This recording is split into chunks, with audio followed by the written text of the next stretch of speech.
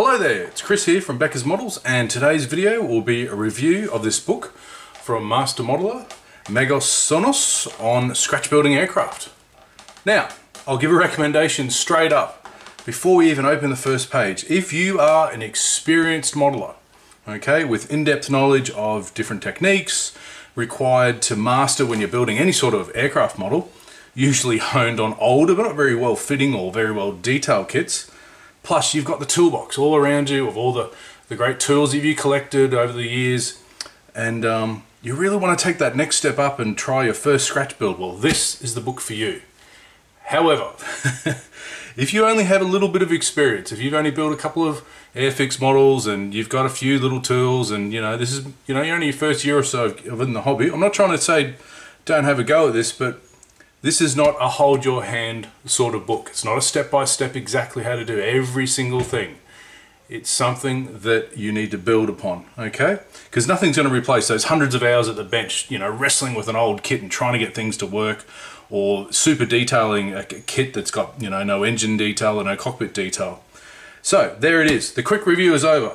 If you want to carry on after the roll, come inside and I'll have a deeper look at this fantastic book.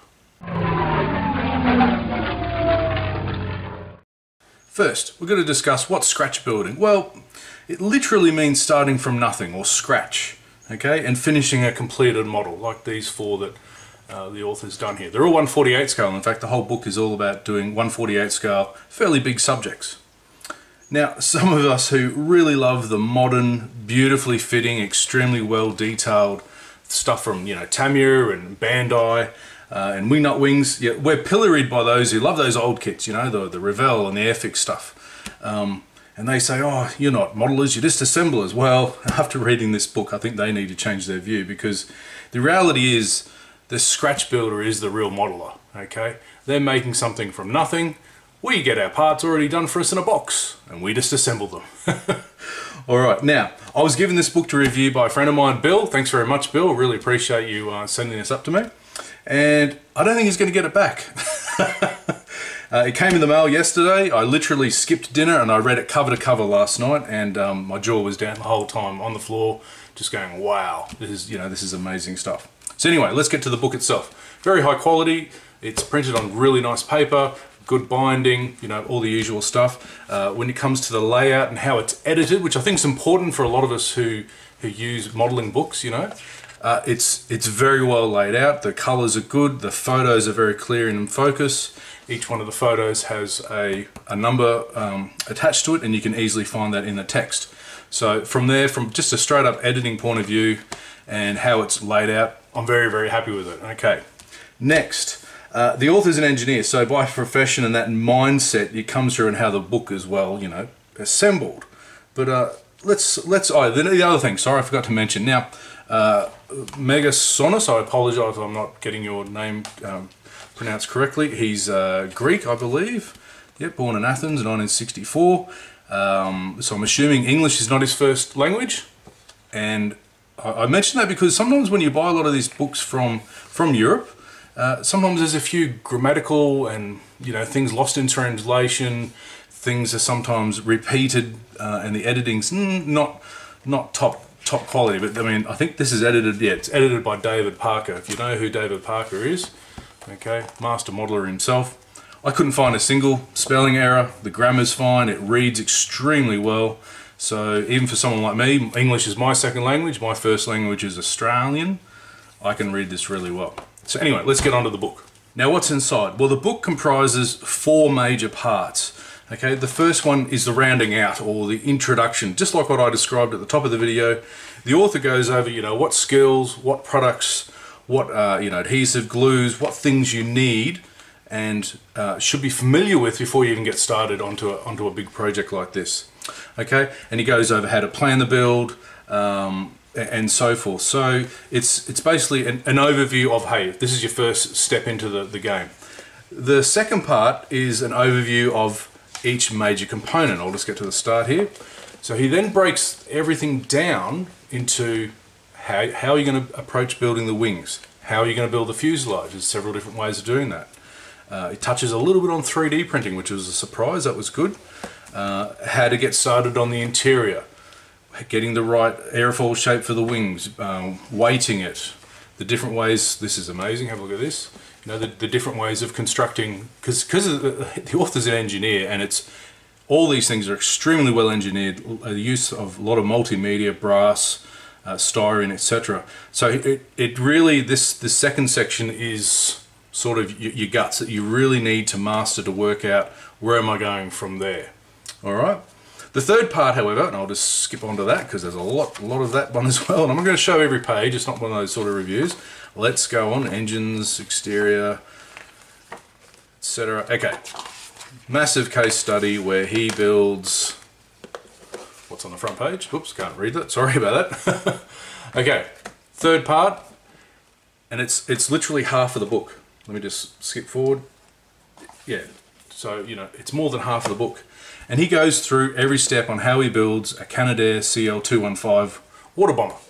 All right, and yeah, th this is the amazing bit. Okay, it's not a hand-holding exercise. Every single photo, I'll just look at this one for example. Every single photo probably makes up at least a dozen hours on the bench.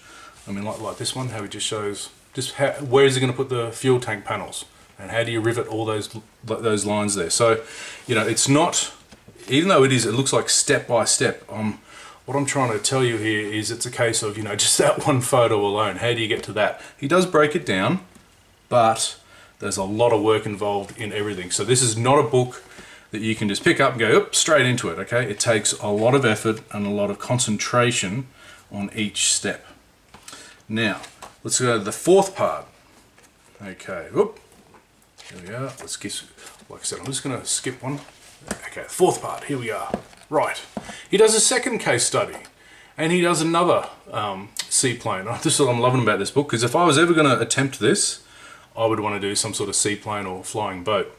And uh, yeah, this one's a Supermarine Stranraer. Am I pronouncing that correctly? This is more of a condensed study, okay? It's separate to the step-by-step -step one. By getting more into the planning process and by, you know, using these uh, fantastic uh, illustrations on you know how do you process through the build? And he really condenses it and he really you know gives you the the nuts and bolts for you to go okay yeah I can I reckon I can apply that to whatever my project is going to be. All right? So yeah that that's really good as well. Okay. Rounding out the book what have we got at the back? So that that case study is about half as long. And then rounding out the back we get this lovely I'll just zoom out for this we get this lovely gallery of that Canadair. And it's just absolutely amazing. Look at that. Just brilliant. And a little blurb from the author explaining, you know, what he's all about, what his process is. So that's the book in a nutshell. As I said at the beginning, this is a near perfect book for the somewhat advanced, experienced modeler to make that next leap into scratch building. Look at this Felixstowe, isn't that amazing? Uh, my only criticism, and then I've only got a few, and uh, I don't think they're that valid when I when I really think about it. Well, my only criticism would be that there's not much told about the 3D process, but have it have the 3D printing because he makes a couple of parts. He shows you how to make a couple of parts using a 3D printer, but you know that that subject alone is beyond the scope of you know of one book. You'd have to write an entire book on how to do 3D printing, and uh, that's something you don't necessarily have to you know put inside your builds, but that's that's a very minor criticism, and I'll let's forget about that one. Okay, the second one I would have is that second condensed build at the back, the Stranraer. Maybe he could have ditched that and expanded on the big one for the Canadair CL215. But but then when I think about it, I'm like, well, actually, no. You want to see different approaches. You want to see how we, you know, because they're different fuselages, different wings, the whole lot. So actually, and also the process that he does, and then, and you'll have to get the book to read it. I'm not going to explain every single word but the process he shows is extremely clear and it really clarifies how you tackle something like that. I mean, I love the way he just gets into the engineering aspect of the construction from the get-go. Because, uh, you know, the type of aircraft you're going to do. You're going to do a bomber, a fighter plane, a, an airliner, a water bomber. You know, it really determines everything about how you start to, to actually approach this. Now, look, even if you're not planning to build a nine-winged Caproni massive seaplane uh, from scratch, this is also a great resource for anyone wanting to do some super detailing or a major modification of a kit. You know, maybe you need to uh, change the wing or the fuselage section because the kit you've got isn't the exact type that you want. So it's a great resource for that. Uh, or even for kit bashing, if you've, you know, you've got something weird and wonderful in your head, and you want to work out, well, how am I going to engineer that? This is the book for you. Thanks for watching. I hope you enjoyed that review. It's a fantastic book. Go out and get it. Uh, it'll make a great addition to your library, even if you never consider doing any scratch building. Uh, yeah. Thanks very much, and I'll see you next time. Cheers.